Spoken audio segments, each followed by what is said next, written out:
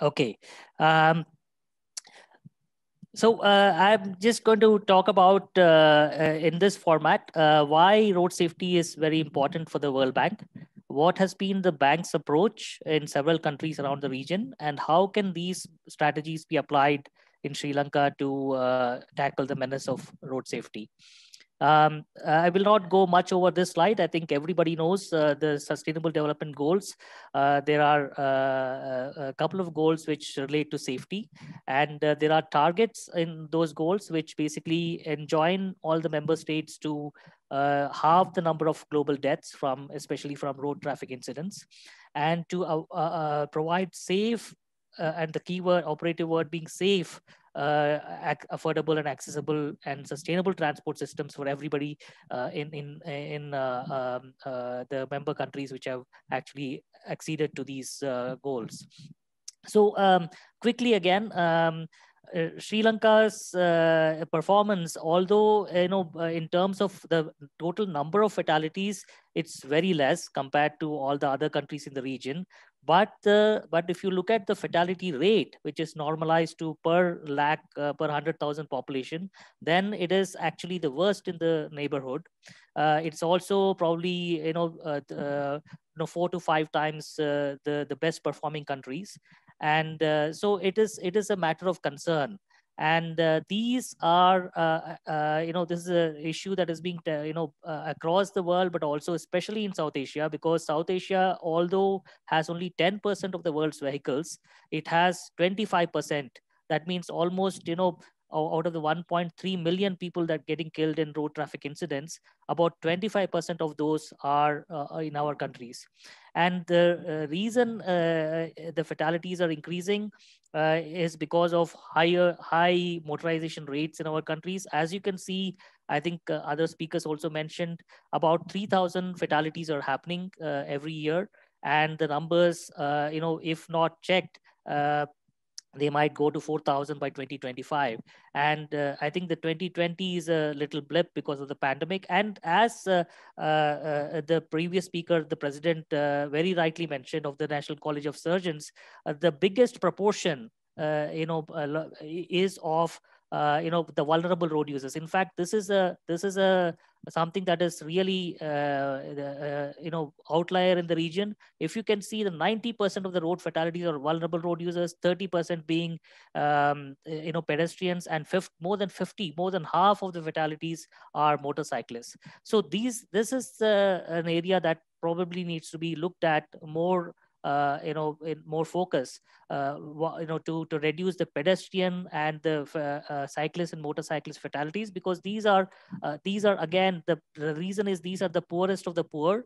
And uh, some statistics indicate that um, these lead to higher poverty distress apart from the physical distress and trauma, uh, they push a lot of people into more poverty. And this is the reason why bank is also interested because banks, one of the goals is to reduce the number of people in poverty rather than increase it. Um, so what are some of the critical issues uh, and i will not go over much because i think these are all again well known but the increasingly these are being driven by motorization uh, the, the data shows that 70% of the crashes involve low income commuters, pushing them again into more poverty. Almost again, one of the earlier speakers had rightly said mostly two thirds or more are in the productive age group, which is a huge dent to the economy of the country. Uh, and motorcycle pedestrian crashes, which is also very interesting. And uh, it is probably one of the, uh, uh again, not very common across these countries, but motorcycle pedestrian crashes in Sri Lanka are causing about 40% of the pedestrian, uh, pedestrian fatalities. Um, so there is a national council for road safety, but uh, but there has been very weak monitoring uh, of uh, road safety results. Uh, uh, you know, according to the Auditor General of of Sri Lanka in, in one of the reports earlier, there is there is a national level. There's no national level crash database which is needed for data driven interventions. Uh, there is a, a, database that is being developed. Uh, I think it has been piloted, but it has not been fully rolled out. And uh, in the vehicle side, uh, uh, uh, Uh, uh, uh, although it has very good import regulations, Sri Lanka is probably one of the best import regulations, but it has not acceded to any of the recommended UN road safety conventions on on vehicle safety. So these are some of the issues that might be good to look at. And what are some of the critical infrastructure issues? I think again one of the earlier speakers had mentioned, you know, uh, the some of the issues are there's an informal road safety unit in the in the RDA, but it is not equipped with any of the mandate or resources uh, on on on safety.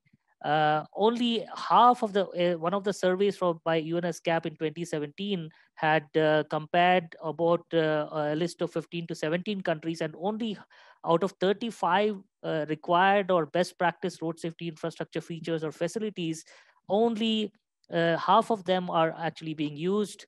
Uh, it's good to see that uh, um, that uh, that the pilot project now that is being done and uh, some of the uh, other uh, things that are being done th there are going to be some of these clear zones and uh, some of these other uh, you know very very critical measures that are needed in in road safety including electronic monitoring and electronic enforcement bicycle lanes again i was very happy to see that bicycle and motorcycle lanes are being the um, taught about the secretary of ministry of health had mentioned this this is very good.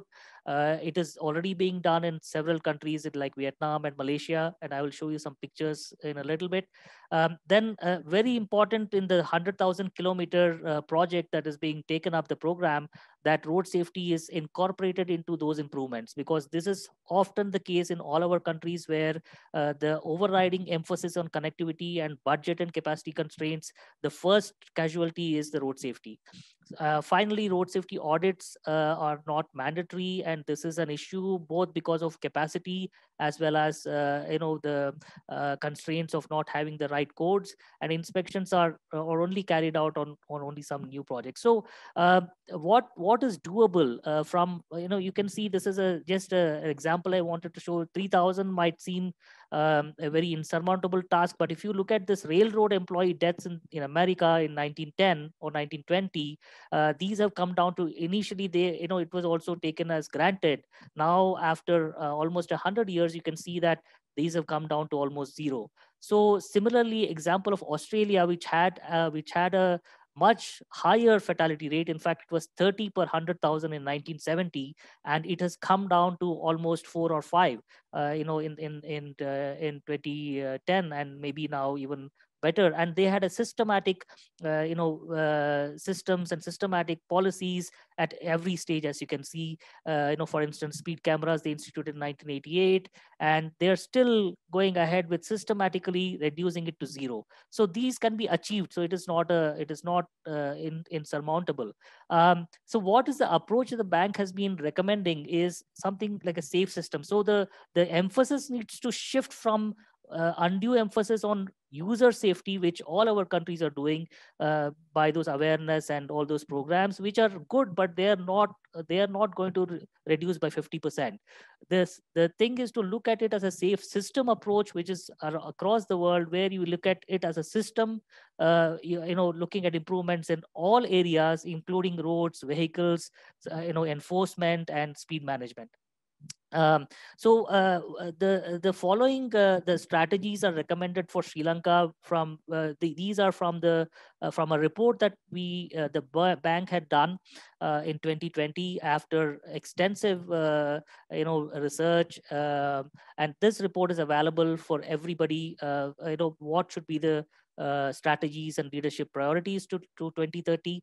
It has been shared with the government. And uh, so some of what I'm going to speak next uh, under each of the five pillars are basically, uh, you know, excerpts from our report. Uh, which has more details.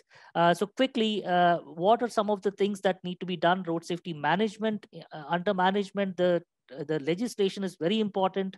Uh, uh, we believe that it is in it's still being uh, discussed. This National Transport Safety legislation, which will formalize a National Transport Safety Commission and empower and equip it with resources and staff for safety in the country. And next slide, I'll show you what some other countries have done in this area. similarly, not just the NTSC, but you need a road safety fund with clearly identified sources of income. The bank reports suggest that you need at least uh, $2 billion over next 10 years. That is almost 200 million a year to achieving the halving of fatalities, the SDG goal. Uh, so these may need to be augmented with uh, uh different other sources. And these are just, uh, uh, you know, uh, thoughts the other countries have some other countries have done like this uh, using vehicle import uh, tax you know tolls and other fees. You know all these can be combined and pooled together just for a road safety fund. And then it need, needs to be a very good monitoring and allocation framework for allocating these funds. Um, again uh, one of the keys here is a re- results focused strategy. So what i mean is results focused is basically uh, everything should be geared towards the 50% result that you're going to get or you want to achieve. So uh, all these uh, uh, functions at the very bottom then they have to be at the road network level for both the roads as well as the vehicles uh, you know, very important to have recovery and rehabilitation, as uh, the president of NCR, uh, the, National College of Surgeons, also rightly mentioned, and very importantly, planning and design and operation of the road network, which will lead you to the results which will uh, reduce your economic and other costs. So uh, that is very important. Similarly for the uh, capacity building there needs to be a center of excellence which will you know have training as well as research uh, you know, which is needed, very, very, very much needed country-specific research, which will also provide policy-level support to the government.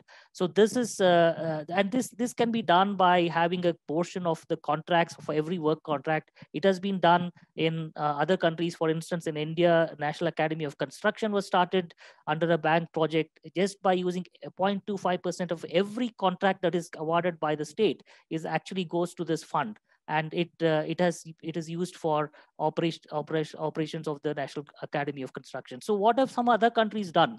The OECD countries, as I said, Australia already I told you, Sweden was also at 16.3 in 1970, UK 14, they have brought it down to three or four all have effective structures. Unless you have the structure which is which is empowered which is independent it is it is going to be very difficult. India has recently uh, enacted the motor vehicles amendment act which has very good uh, uh, you know uh, some provisions which has independent national road safety board which is going to be created very soon. It makes very very important that it makes all entities who are involved in the design construction maintenance and operation of roads accountable uh, it enables digital monitoring of all uh, national, state, and urban roads. And it has a fund for treatment of crash survivors and to provide compensation. Uh, some states also have set up independent road safety authorities. Unless you have these independent authorities, it is going to be very difficult, which can pull up anybody, any public or private entity for not non-compliance. Similarly, it has initiated a development of an integrated road accident database, which I mentioned before. You need that to be rolled out across the country uh, uh, to have data-driven interventions. Uh, similarly, for safer roads, safer roads, this is very, very important. Uh, the, in fact, I will show you another slide where infrastructure deficiencies are the ones that are causing a lot of these uh, road safety issues. So some of the institutional actions that are needed are the road safety unit needs to be a dedicated unit in, in the uh, road development authority, which will have uh, all mandate for design and to conduct audits and research and training and national policy which which will mandate road safety audits uh, uh, so I was uh, telling you this before, a dedicated percent of road construction budget can be used, can be set aside for road safety and other incidents. Uh, uh, very important for all these above is to have revisions to the codes and standards and to stipulate minimum safety requirements for each functional class of roads. Uh, the focus also needs to uh, be on on uh, like i said motorcyclists. So for instance uh, in in uh, in some of the countries malaysia you can see there are exclusive and non-exclusive motorcycle lanes. Uh, indonesia even has on you know exclusive uh, expressway for you know you can see on the right Uh, Bangladesh has uh, created a motorcycle lane on one of the roads. Uh, so these are uh, things that can that can actually be uh, used in in Sri Lanka as well. Um, similarly, under operational actions, you know, the, instead of going after the fact, there has to be a proactive assessment of the highway network, and these are being done under a World Bank project. These are, uh, you know, every 100 meters of the roads are assessed through something called the International Road Assessment Program, which is which rates the roads on a five-star scale. Uh, so uh, these these need to be maybe then rolled out to all the uh, 12,000 plus kilometers, at least on the national highways and eventually all the roads. And very important that signage marking and crash barriers should not be treated as afterthoughts. It is most engineers across our regions, they just believe that build a good road and then the marking and everything, you know, those are left as afterthoughts. That should not be the case. Before the road is opened for traffic, all the furniture, road furniture needs to be there. Otherwise, it should not be opened. Um, some other uh, things with the pilot projects, I'm very happy to see has been started. Similarly, you know, World Bank has a, a pilot project which it do, does on most of its uh, road uh, funded uh, projects, where uh, you know we have seen uh, reduction in road debts. Uh, uh, uh, you know, this is how it works. The the World Bank uh, gives loans to the public works department but also other all other agencies are uh, also given uh, you know some funds for instance enforcement as well as some post cash cash uh, crash care measures. And uh, these have seen in uh, in a in a 60 kilometer stretch in in karnataka the fatalities and crashes came down by more than 50% by doing this approach. So this, this is very very useful to look at pilot approaches which can then be replicated across uh, uh, the nation. Uh, and uh, uh, uh, apart from that, capacity building is very much required and the crash database integrated with prioritizing your roadworks because this is not done, you know, the prior roads are not prioritized for improvement based on how much they are actually leading to your uh, crash problems but they are more looked at from different other issues only looking at connectivity and looking at volumes they should be looked at from a high risk high volume uh, perspective. Um, so this is what I was talking about. Even in the West, even in the advanced countries, the design concept of safety by design if if the just uh, the infrastructure measures are incorporated in the design you can see the re reduction in the fatalities and serious injuries can be up to 50% which will which will just uh, you know uh, help uh, countries reach their 50% uh, sdg goals. So and other measures including post crash care and uh, enforcement can lead to even higher better results. You can even go up to 70 to 80% of your you know or even almost reducing it to zero by by other uh, innovation and other pillars support on other pillars. So uh, quickly i wanted to also show that uh, tamil nadu in india has actually reduced uh, its uh, fatalities by 25% by uh, some of these measures just in the last three to four years. And one of the things i said was like 200 million. So they have they have 2% of the plan expenditure uh, they spent and this has resulted in a I'll show you in the next slide. And what they did was some of the, they have a protocol to inspect and recommend and prioritize measures.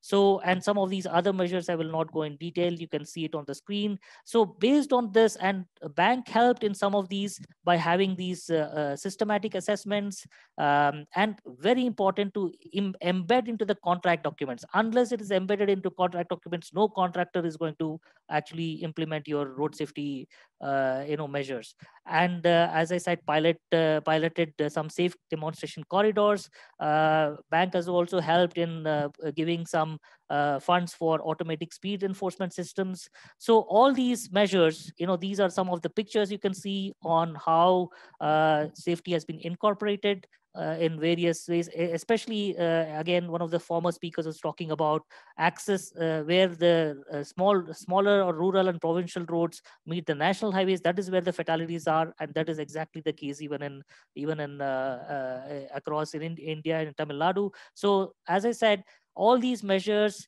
along with, I mean, these were only infrastructure I talked about, but they had very good post-crash care systems as well. Uh, and based on that and enforcement, they were able to reduce by 25% between 2014 and 2019. One of the very few states in India which have been able to do this.